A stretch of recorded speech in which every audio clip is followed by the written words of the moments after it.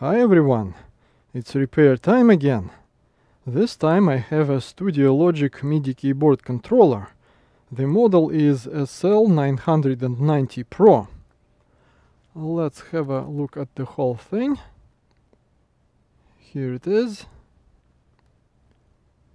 And something seems to be wrong with it. Let's see what can we do. Here is the power supply for this thing. 9 volts, 500 milliamps. And I can sense a heavy transformer in it. So this seems to be a very simple unregulated supply. I measured 12 volts here, which is okay. And I didn't try to load it, but so far it seems like there is no problem with the supply. So here it is, we plug it in and the keyboard seems to power up. So here I have this uh, USB to MIDI adapter and it can show MIDI activity.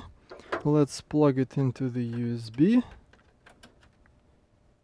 Here it is, powered up and there are two LEDs to show MIDI activity this is marked out this is marked in so we need to plug this one into the keyboard's uh, MIDI out and as we can see there is no activity from the keyboard or from the wheels.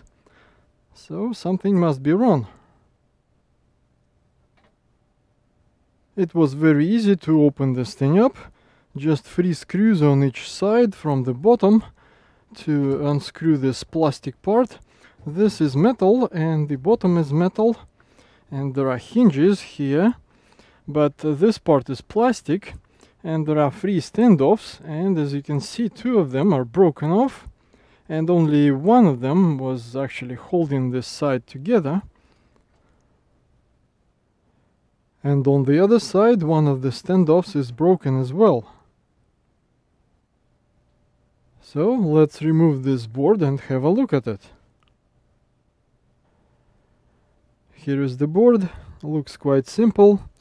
This is DC input, MIDI output, sustain pedal connector. This is a 5 volt regulator, three buttons, uh, microchip uh, PIC16F74 microcontroller. This is a 74 series chip, some sort of a latch or a buffer and this is the EEPROM chip to retain some user parameters, I suppose. So I checked the capacitors using my LCR meter and they measure perfectly fine.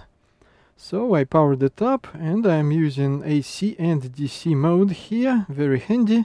DC here and AC here. And here we are on the power connector. 11 volts and uh, 130 let's say millivolts ripple looks fine. And after the regulator